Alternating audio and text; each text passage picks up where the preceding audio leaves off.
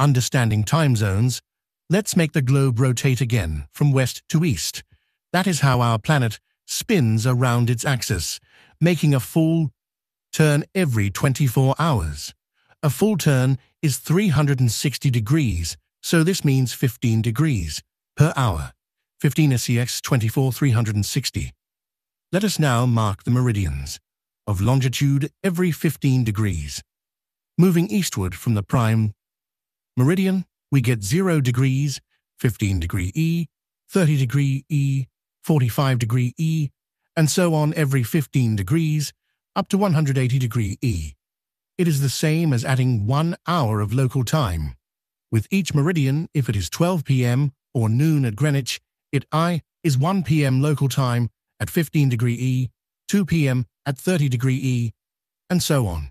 But going uh, westward, it is the other way round, 11 a.m. local time at 15 degree W, 10 a.m. at 30 degree W, etc.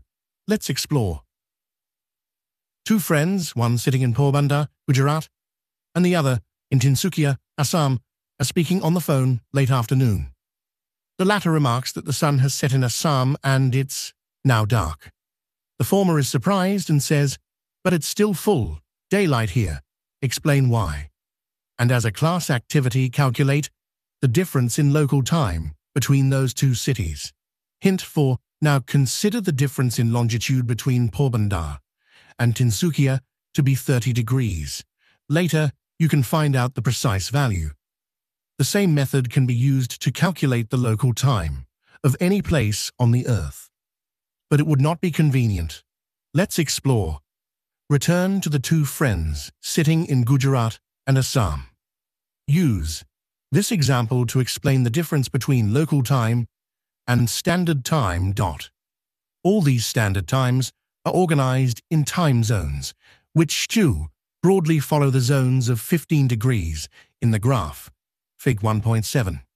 But let us consider the world map below, Fig 1.8 we can see that the lines dividing the time zones are not fully straight. This is because they have to respect each country's standard time, and therefore tend to follow international borders.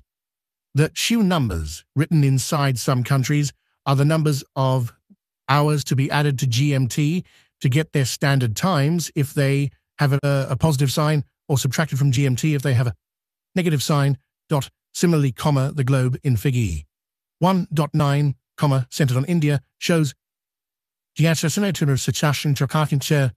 China times with respect to GMT for a few countries.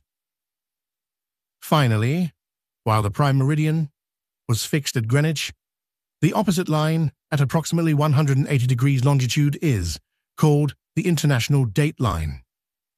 As you can see on the map, the plus 12 and the 12 time zones touch each other at this line. If you cross it by ship or plane, you need to change the date in your watch. If you cross it traveling eastward, you subtract a day, say from Monday I to Sunday. If you cross it traveling westward, you add a day. Uh. From Sunday to Monday. We said that the international date line is approximately at 180 degrees longitude as it deviates in places to avoid dividing some countries into two different days. Before we move on,